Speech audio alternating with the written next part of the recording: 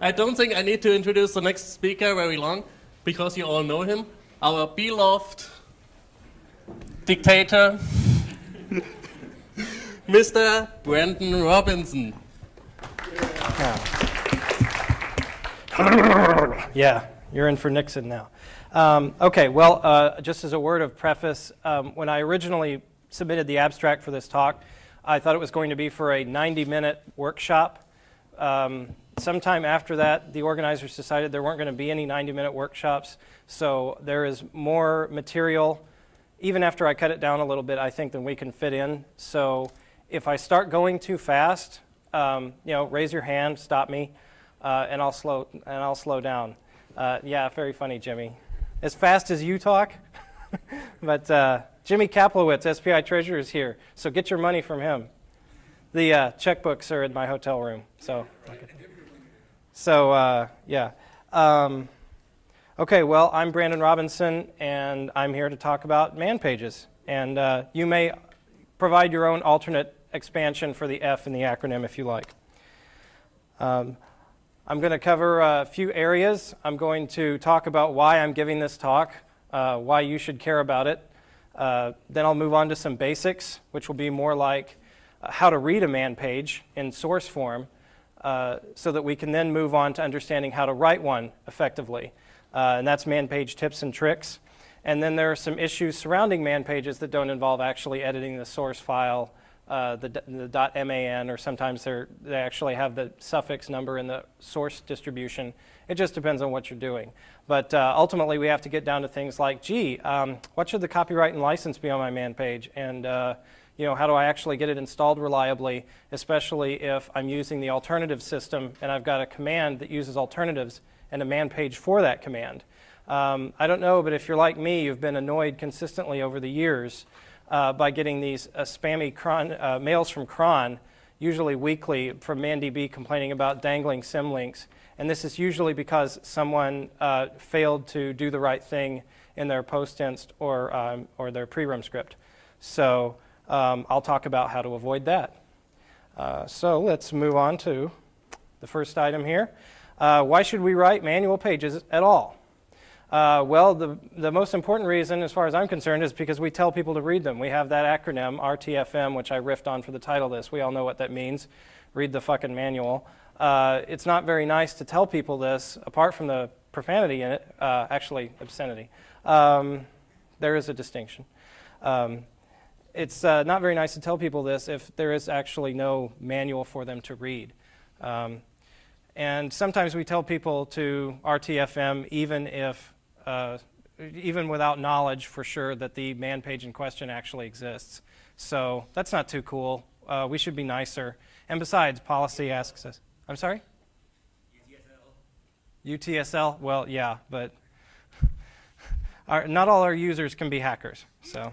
Um, so I did an experiment just on my iBook, and uh, I, have the, I had a little shell script that went through every, every file really in sbin, bin, user sbin, and user bin, and took that and did a man-w on it and checked the exit status.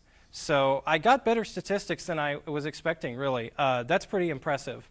Um, but then I only have stuff I really need on my iBook.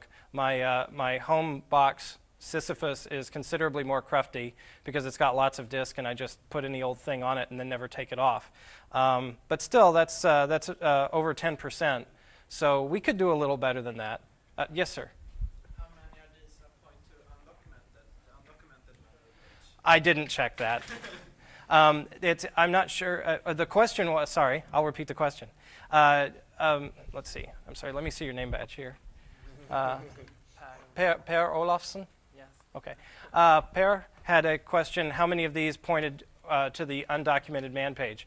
Uh, actually, I think the answer would be none, because if they linked to the undocumented man page, man, man-w would have exited with status zero. It would have succeeded, so it would, have, would not have been reflected in my numbers. So the figure could actually be higher than this. Ah, my pessimism is vindicated. So um, we've got at least 10% that, that don't exist at all. Now, some of these will be false positives. You could make a case that I'm staying too long on this point, but you could make a case that some things don't need man pages, such as you know desktop environment applications that will never be invoked from the command line for any practical purpose. Um, maybe you could make a case for that. Um, but another reason to write man pages, as you've already read ahead of me, is uh, that the ManDB package, which provides the uh, man pager infrastructure and the command, is its priority important. It's always, almost always going to be around. Web browsers and PDF viewers often are not, or they require a GUI environment, and it's uh, not a lot of fun, uh, as I know from numerous users over the years, uh, if your documentation uh, is going to require a graphical browser and somebody can't get the X Windows system configured or the X server configured on their system, uh, they've got a pretty serious chicken and egg problem. Uh, so it's good to have man pages. It's good to have something that will work reliably on a terminal, and man is that. Um, man pages are one of users' last, line of last lines of defense against uh, frustration. Uh, you know, so when, when all else fails, it'd be nice to have a man page there. Um, and we should write them because they haven't all been written yet. Um, and finally, of course, nobody actually reads any readmes, as we know. So um, there's not a readme command, there is a man command. Maybe there should be a readme command that goes and looks in user shared doc package for readme.debian. Um, so somebody here who, who uh, not through the NMQ yet could, could volunteer to do that. It'd be pretty simple. Just be remember to write a man page for the readme command. Um, why should we learn to write good man pages? Uh, because many of the ones out there are suboptimal. Um, I, my exposure to this fact uh, lay in that I didn't know how to write man pages when I first started, so I started looking to existing ones for examples. Well, I picked at, picked at them kind of random if they looked good, and I learned some bad habits that I later had to unlearn. So I'm going to try to uh, while I'm sure, I, well, I know I still don't know everything. I'm not uh, a 70s era Unix hacker who knows roff inside and out. And Colin Watson, for instance, who unfortunately I don't believe is at the conference this year, uh, he knows a boatload more about roff and macro packages than I do. But I know a little, and I'm going to try to communicate what I do know. Um, people are generally unaware of conventions used by high quality man pages. Uh, and so you know they, they go unwritten or they go written poorly. Um, people are ignorant of the basic GNU roff syntax, Groff, and the AN macro package. Uh, if you aren't aware, roff, as I alluded to earlier, goes way back. Uh, the, the original uh, program that it's descended from is called Runoff, which I think dates back to the 60s and actually predates Unix. Uh, and one of the very early things that Unix time sharing systems were used for Yes, this is Lars, my, my, my un, uncredited. Uh, oh, okay. He's, he's, he's getting ahead of me, so it'll be ready when I get to it. Um, let's see. One of the first applications of the Unix time sharing system as developed at Bell Labs was for document generation. So roff was a pretty sophisticated system. Unfortunately, it had licensing issues, as did a lot of the old Unix stuff. Uh, you're distracting people from me. I'm a prima donna. I've got to have all the attention. Any, anyway, uh, yeah, I'm delegating some of the attention to him. So, almost fairly, not altogether bad. Yes. Um, Excuse me. If anyone sir. needs to ask questions, oh. can you please wait until the um, microphone gets to you? Yeah, because yeah. this is this makes it to a recording also. Yeah. And that's almost more important than you guys. So. Uh, right. the, if, if we if we want to have if we want to have much posterity in our recordings for posterity, it's helpful for people who view the recordings to actually know what's going on, which means you either w- you want to be on the screen sometimes, and you definitely want to be heard. You want to make it to the soundtrack. So, um, and of course, if somebody can't get the microphone, I'll try to repeat the question. Um, anyway, I digressed into the history of, of and I'm going to get off of that. It goes back a long way. GNU, as they did with so many other things, wrote their own, uh, and it's largely compatible. Um, they don't, people don't know uh, lousy Groff or AN syntax or usage of the system when they see it. And as a result, they're often, people are often poorly equipped to judge the output of engines that generate man pages from another source format. Um, Lars Wirzenius, this is a pet peeve of both of ours, and uh, he's been helpful to me and, uh, over the years and recently in uh, developing this presentation. Um, DocBook to Man, which is probably the, the one best known to you, is especially bad with what it generates. It's just awful. Um, we, I, I, dealt with this at Progeny when we were documenting, I believe it was Discover. And uh, oh my God, the output was just awful. It looked terrible. Uh, it, I mean, not only was it syntactically bad in source form, but the actual man page, as viewed by the user, was bad. It was ugly and unpleasant to read. Uh, and a man page that is unpleasant to read is less likely to be read. So, um, well, let's talk about what a manual page actually is. I'm now I'm talking here about the, the actual source file uh, that is used to generate. Uh, you may not know, you may not be aware that there are multiple output formats that man pages can be used. We're most used to the terminal, but you can also generate PostScript directly from a man page, uh, and you can also generate uh, an X window. Uh, if you've try, ever tried the dash capital X option to, to the man command, then uh, you might want to experiment with that and see how things show up. It's nice, especially for, for font rendering and stuff like that. Um, man pages are written in the roff typesetting language, which I pr- pretty much already covered out of order, uh, as TeX is. TeX is another typesetting language. Uh, typesetting languages tend to grow macro packages. Uh, like any low level tool, people write macros to make things easier. And the AN macro set is, uh, is the one that man pages use. The reason they're called man pages is because you select the macro package that you want with a command line flag to roff called dash M, and then you specify without any space, because this is old school Unix, uh, the macro package afterwards. So you type AN, so the, uh, the command line argument would look like dash MAN. Now, these days, Groff doesn't actually get invoked that way for historical reasons. It uses a thing called man, uh, ANDOC, which picks MDOC. Or, anyway, I said I wasn't going to go into it, and then I did, right? Um, man pages use the AN and less commonly doc macro packages. Uh, doc comes from the BSDs, so you'll see a lot of uh, MDOC man pages on the BSDs, um, including the uh, uh, doc macro package itself. So if you man 7 doc, you'll be able to see what this looks like. Um, a man page is intermediate in scope between terse user documentation like usage messages, which should be uh, lean and mean. Uh, if for nothing else, if someone forgets to pipe it through a pager, it'd be nice for most commands to fit what they have to say onto one 80 by 24 screen. Um, and of course, book length manuscripts like uh, you know the GNU Emacs uh, Lisp reference manual, which I think is two volumes or something like that. Um, something that huge is not appropriate for man pages, in my opinion. And in practice, most people don't write man pages that huge. Uh, where are man pages kept? Now, here I'm going to warn you, I'm going to stray a little bit from, uh, from, from telling you things that are factual and get a little bit into areas of opinion. I like the idea of a fairly tight coupling between the sections of man pages and where you find the things they document on the file system. Um, not everybody shares this, uh, th- this, this kind of uh, militant mapping philosophy. Uh, so, in many cases, you won't find things quite this simple in the Debian system, and it's not necessarily a bug. Uh, I'm just kind of a Puritan. So, with that caveat, um, generally, section one, as you may know, there are eight sections in total. Um, I'm sorry? Well, nine's not used on Linux. So, um, what section nine is, was used for uh, historically was uh, kernel internal interfaces, and uh, these days, I guess you know you have O'Reilly books and uh, and Linux Weekly News to read about kernel internals. Um, user commands are in section one. These are things that generally don't require privileges to use. Section two is the system interface or system call interface. So the, the C library doesn't provide these, or they're just wrappers around the actual system call interface. So these are services provided by the operating system kernel um, fork, read, sbrk. Um, so I guess that's set break for uh, Bdale would know. He's he, he, goes back far enough.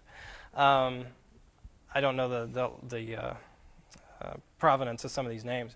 Uh, the library interface, for instance, the C library is most commonly thought of as being documented in Section 3, but any library can be documented there and often is. Um, malloc, printf, those are C library functions, and xtcreate managed widget, which as you might guess from the name in my history, uh, comes from X, uh, specifically the XT library, which underlies Athena and LessTif. So, uh, section four is the device interface. Uh, device nodes are often found there. Um, I meant to check before starting this to see if there was actually a null man page, but in principle, you could man null and read a section 4 man page about the purpose of the dev null device. File formats. Um, this is, I'm sorry, did you have a question? Oh, okay. I saw your hand move. So, um, File formats. Uh, this is a section of the manual that a lot of users don't seem to know about, which is a real shame because there's a lot of good information in, in, in section 5 of the, of the manual. So, uh, you know, someday when you have time, or right now even, ls user share man man 5, uh, you'll see a lot documented there that you may not have known about, and uh, it's good stuff. So fstab, for instance, is documented there. xorg.conf, that's a way of teasing you because it's not an unstable yet. Um, I didn't. I, I can't. I, you know, we're getting away from x386. I just couldn't stand to put xf86 config in this document. I'm trying to look to the future, so uh, and the present, for that matter. Uh, section six, games. I think it's kind of silly that this was segregated off, but it was, you know, back in the days of timeshares, uh, it was important to be able to switch off the games or switch them on at night when the system wasn't going to be used. It's kind of an anachronism, but there it is and it would probably be a big pain in the ass to reassign that number to something else. Um, I've really got to pick up the pace here. Um, administrative commands, sbin, user sbin, much like section one, except these are things that typically require uh, administrative privileges of some kind.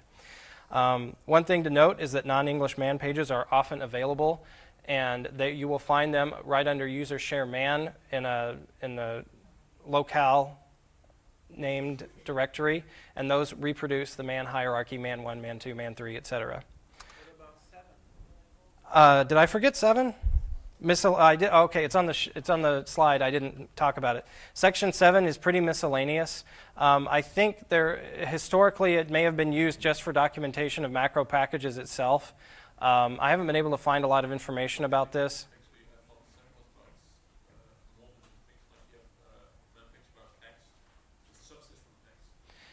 Yes, that's one. Generic stuff than just a single command. Yes, I'll, I'll repeat. Uh, uh, Wouter uh, said that, for instance, you'll find an X man page in section 7. Um, I'm repeating his question. So. Um, you'll find an X man page in section 7 as well as uh, section 1. Um, the one documents the command and the other documents the system. Uh, so there's a lot of high level information about the X window system that you can get if you type man 7 x. Those are three arguments. So, um, so yes, thank you for catching me there and having me go back and talk about that. So let's get into the meat. What does a man page look like?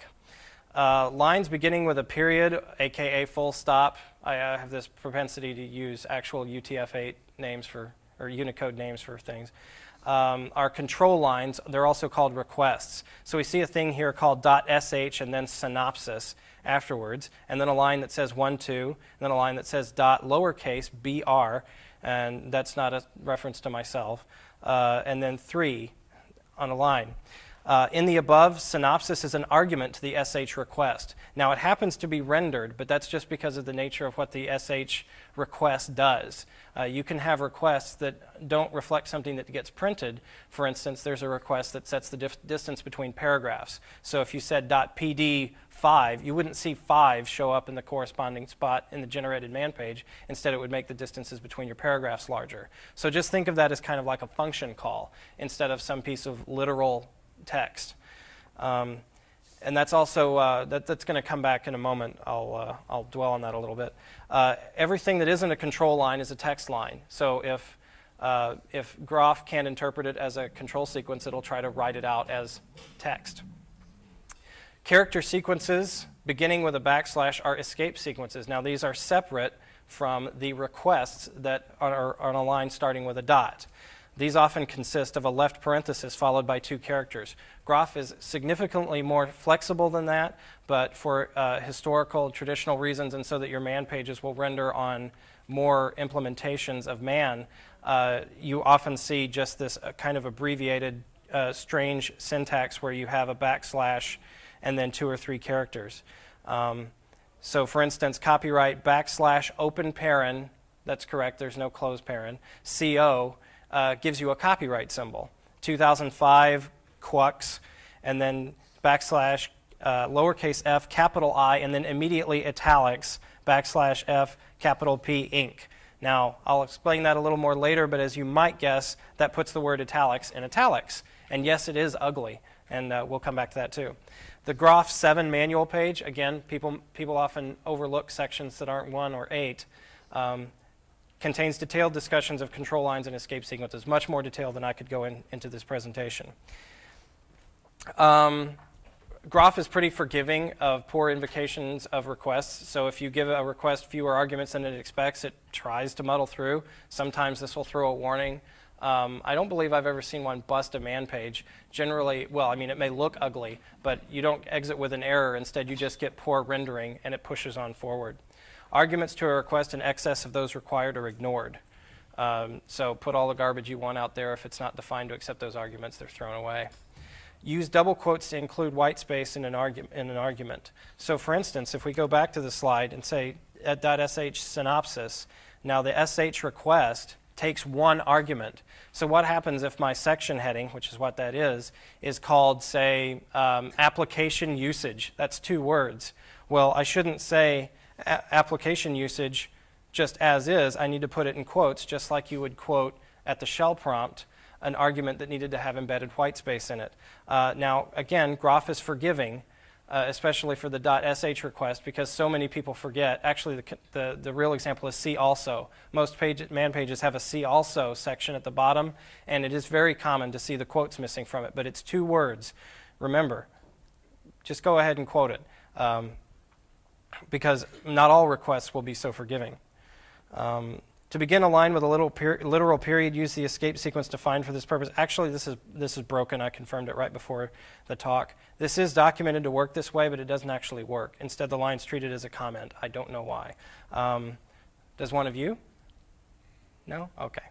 Well, like I said, I'm not an expert, and the documentation did say that should work. So um, hopefully, I'll get time to file a bug, and someday Colin will get to it.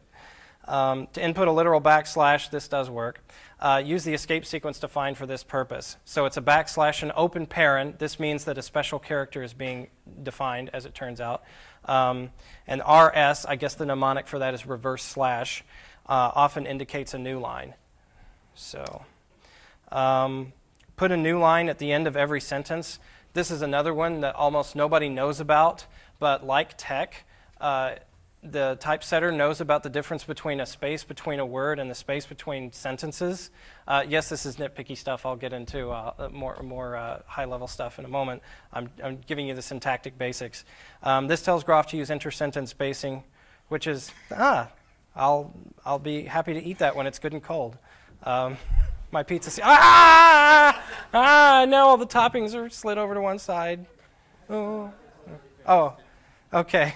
All right. Um, yeah, I was finishing this up, so I didn't get to go to lunch, so ordered pizza. But uh, thank you.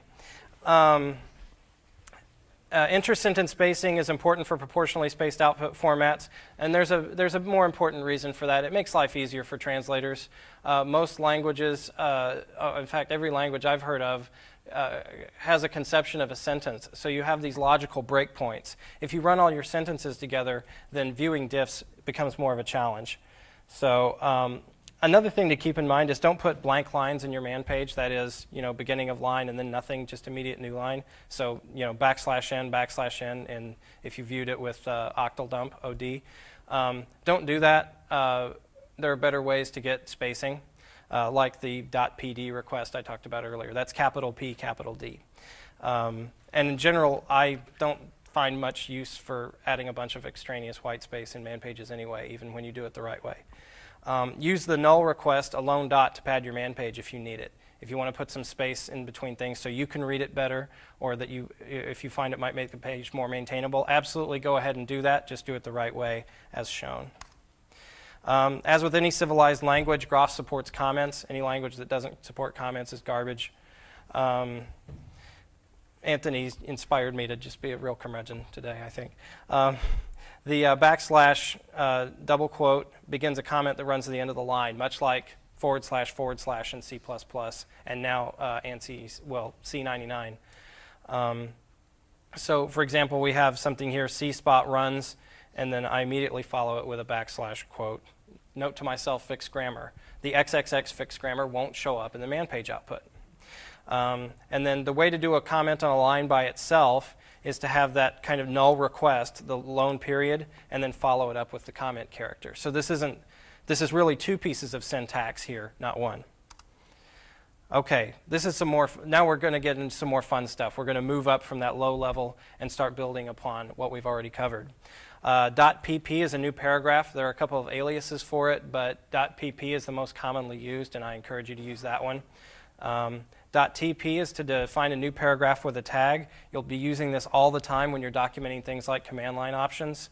Um, because uh, to get a layout the way most traditional, most man pages, uh, almost exclusively all of them that document commands, uh, you get a level of um, indentation that differs for the description of the option. So the option's here, and then the description of the option is indented a little bit. And that's the way to do it. And uh, the .b option, uh, or the dot .b request, uh, you might guess means bold but we'll get back to that. Oh, there's a mistake here. There should be backslashes in front of those hyphens. Sorry. Um, .rs begin indented area. .re uh, should be end indented area. Um, sorry about that. Um, dash BU, as you see in the example, that's a bullet. There are lots of interesting symbols available, and as people uh, use UTF-8 uh, terminals with good fonts more and more, uh, the, these things will actually show up in the man pages. These all have down conversions to ASCII.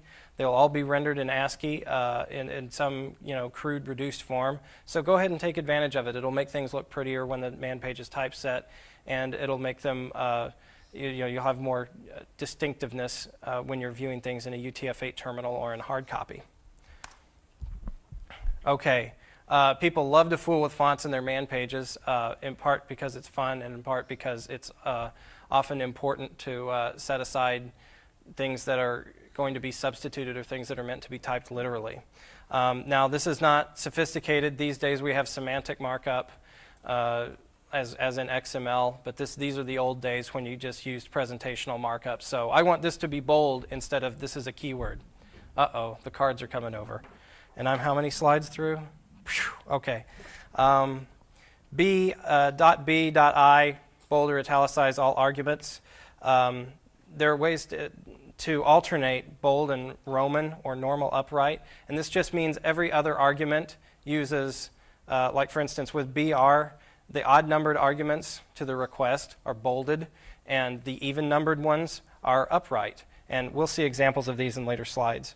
Um, I recommend using these macros in preference to font escapes wherever possible. Remember those backslash, lowercase f, and then capital I stuff? That was kind of ugly to read, wasn't it? Um, these are better. Um, you can put the escape in the middle. It, it doesn't uh, it doesn't cause a line break. So, but you need to know the font escapes sometimes, as we'll see. And these are what those mean. Switch to bold font, switch to italic font, switch to the Roman font, and something that is underused, switch back to the previous font. Uh, it doesn't make a lot of sense to literally go to Roman when what you really want to do is treat your uh, fonts like a stack. So push bold onto the stack, pop it off. Push italic onto the stack, pop it off. So I encourage the usage of uh, dash F capital P. Um, th now this is something that almost everybody screws up. Uh, dashes, hyphens, and quotation marks. And in fact, LaTeX was kind of giving me a bit of grief when I was trying to get these characters exactly right. So they don't actually present perfectly, but I think you'll uh, see what these are from context. Um, and that just means that the directions on the uh, on the single quotes down there are wrong. They should be uh, different. But anyway, um, a, a, dash all by itself is a hyphenation dash. Now, when you're in a UTF-8 environment, this will render very narrow. Um, you can use a backslash uh, open parent en for n dash and en em for m dash. And if you don't remember what those are, um, they're, they're covered. En, an N dash is for a range generally, and an M dash is for a, a break in discussion. So, and then backslash hyphen is literal hyphen minus. 10 minutes. Um, I knew this was going to fill 90 minutes, uh, and I only have 45. Um, it was probably a backwards decision of the language designers to not swap or, or, to have hyphen, the hyphenation dash and the literal, literal one this way. But let me tell you why it's important to use the literal hyphen minus instead of the hyphenation dash. Because when somebody's in a UTF environment and they're searching the man page, well, when they hit slash and type a string to search for, or, or a regex, and they type a dash, it's only going to match the literal one.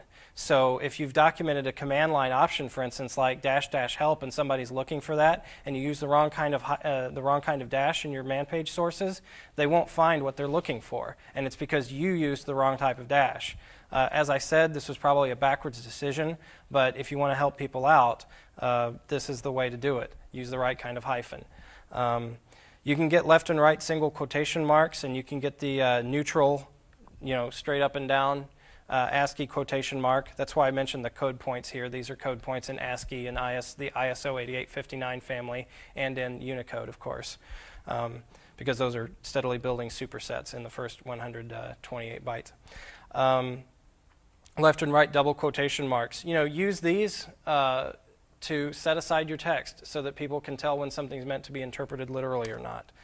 Um, Critical man page macros, there are two that are essential in all man pages because ManDB uses them for indexing.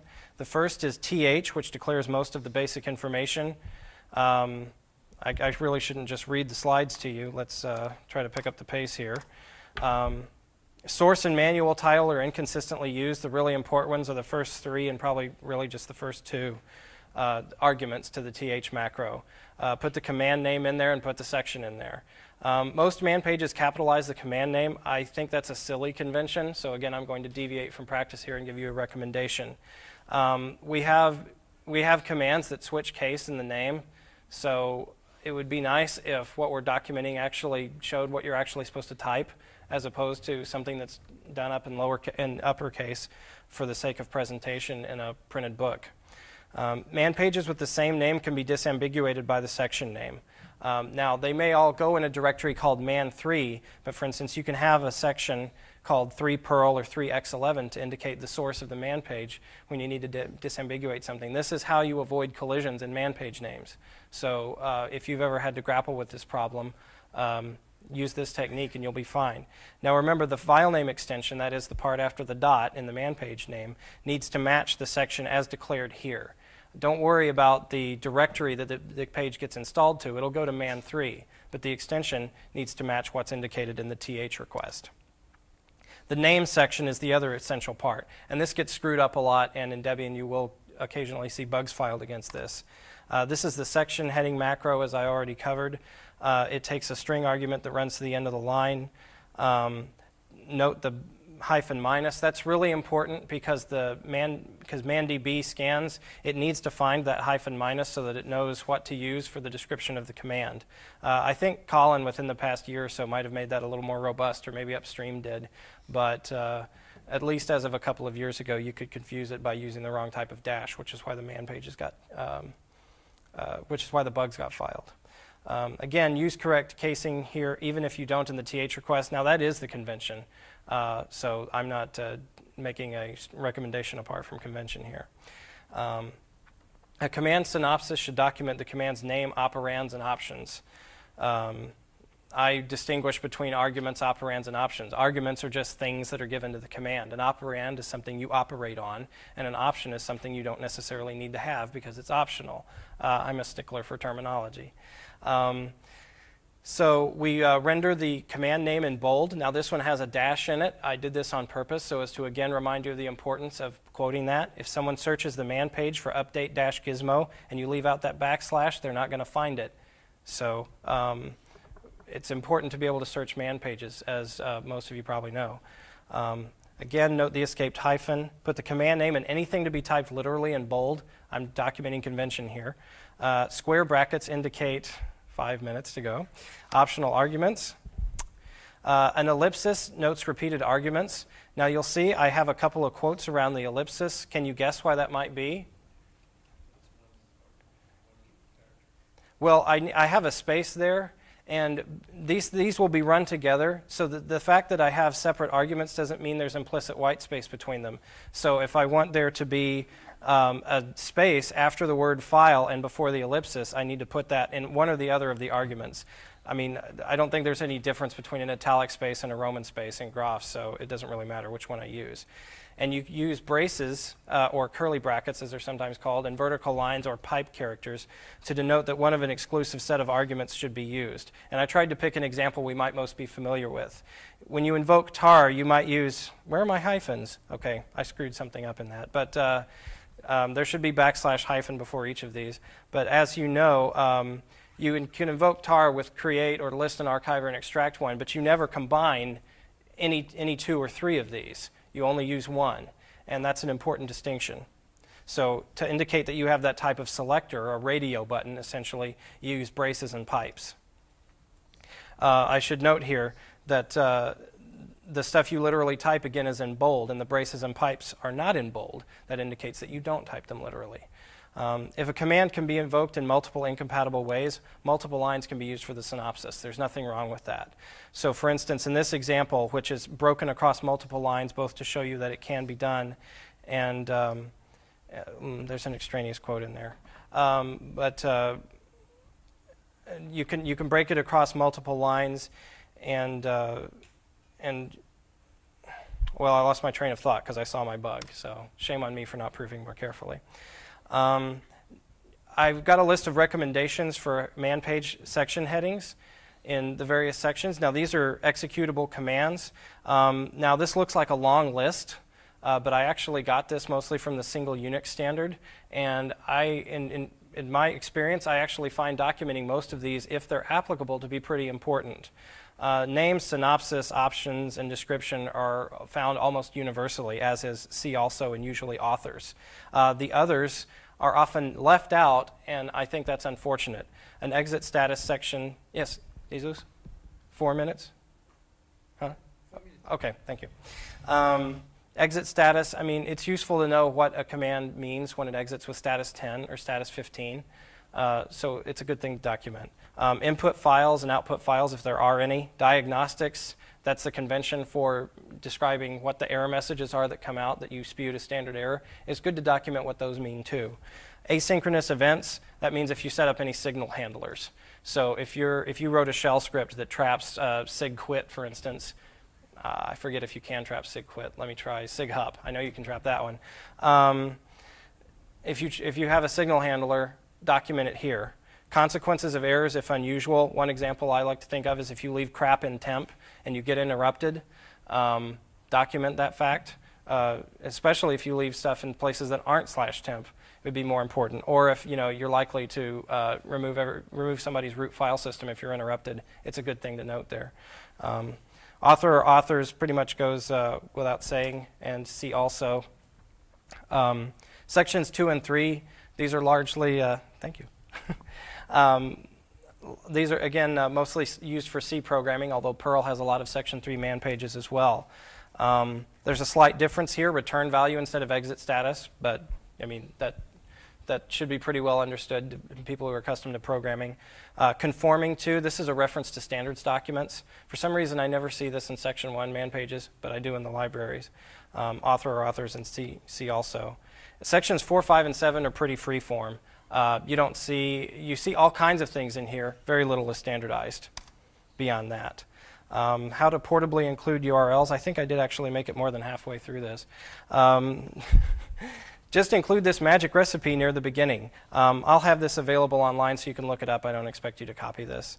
Um, well, I expect you to copy it into your man pages, but I don't expect you to copy it now. Um, how it works is you define a new URL macro that works like this and it happens to be provided with the GNU roff. So that's what that last line is. We define the macro, and then we say if we're using GNU roff, load that macro file, and then that will just clobber the URL macro we defined with the real GNU one. And this enables your, your man page URLs to be viewable on systems that aren't using GNU roff. So, um, that, which I just said what I, what's on the slide. So, um, how to license your man page. Oh, we're to the last section. Um, if you're writing your man page for an existing piece of software copyrighted by something else, I think it's just polite to, to stick with their licensing conventions. Um, I recommend this. Uh, well, it's, it's polite to place a manual page under the same license as the software it documents, basically.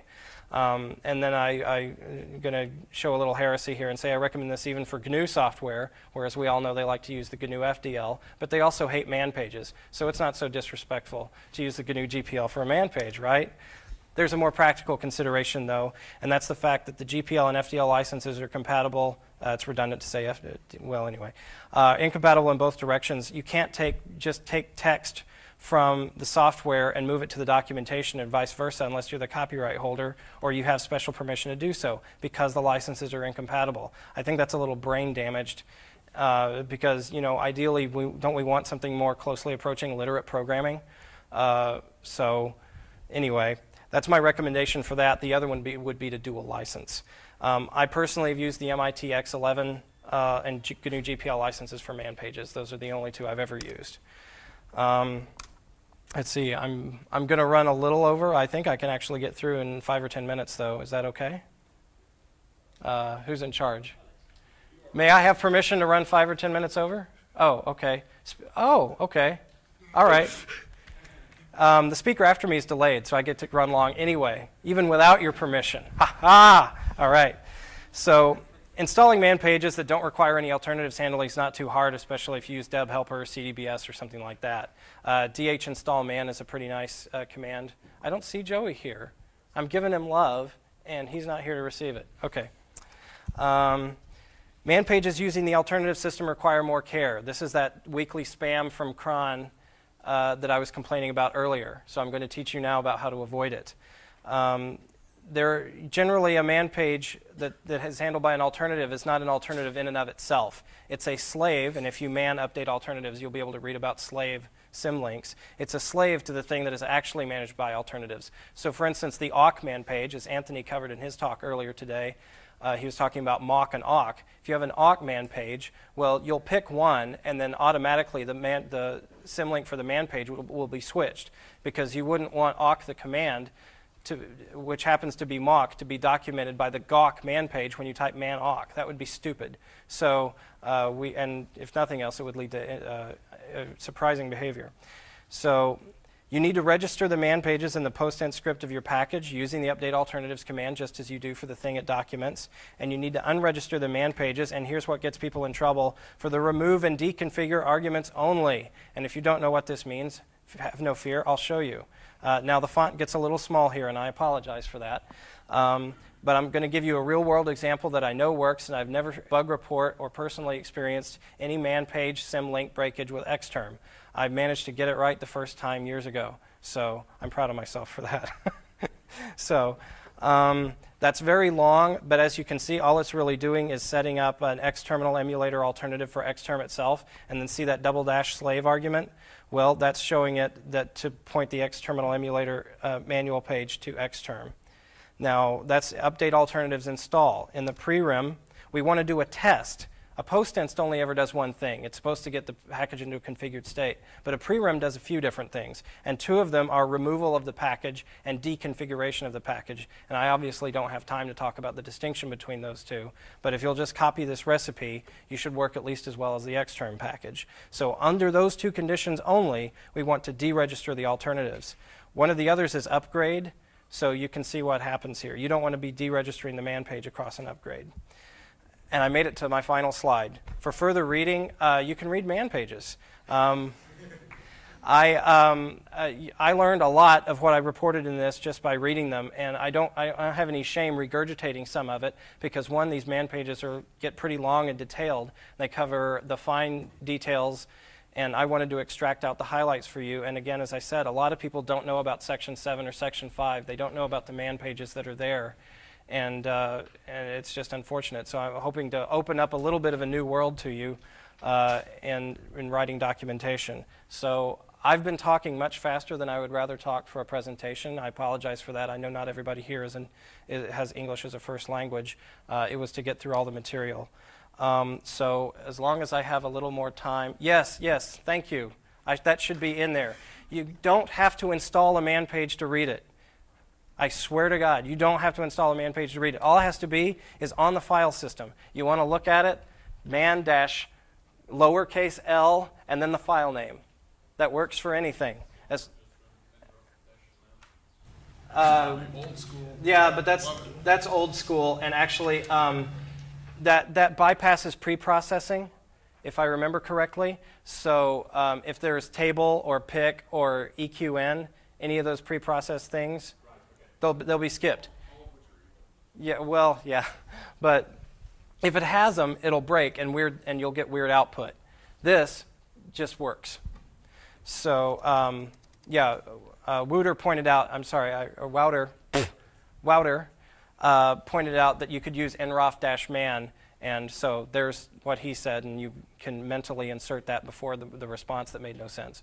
So, um, uh, yes, about, I'm, about the about alternatives, yes. Your explanation about alternatives uh, Yeah. included only English map pages, and when the map page is translated, it's about 30 languages, Ah, and that is very massive. probably need to put it in a for loop. Uh, oh, wait. No, because ye, probably need to use xargs to build a command line to update alternatives. I hadn't thought about that before. Uh, thank you for pointing that out. Did I repeat the question? I'm sorry. I said I'd do it, and then I'm screwing that up. Um, uh, Junichi? Yes, that's that. I remember you, right? Okay. Junichi uh, pointed out that, uh, well, you'd also want to install a slave symlink, for instance, for Xterm if its man page had been translated. So, what if it had been translated into 30 languages? Well, that command line, which was already pretty long, uh, whoops, it's right there. Okay, that's long enough, right? Well, what if I had 30 translations? That would get absurdly long.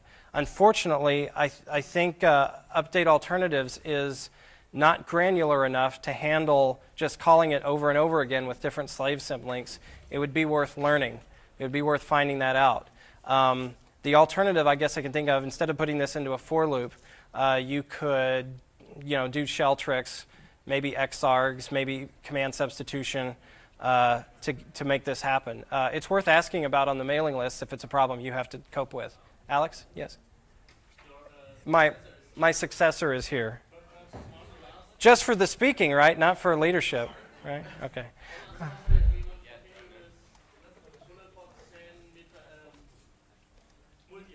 Okay, I'm allowed to take one more question, and then we will proceed with Tollef's talk. Okay. Yeah.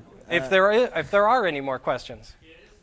Yeah. Oh, Hey. yes. Um, under the sections, you didn't list bugs. Uh, bugs is a part of the man page that I've had a lot That's of right. use for lately. Um, uh, the question was, the comment was, I didn't mention a bugs section.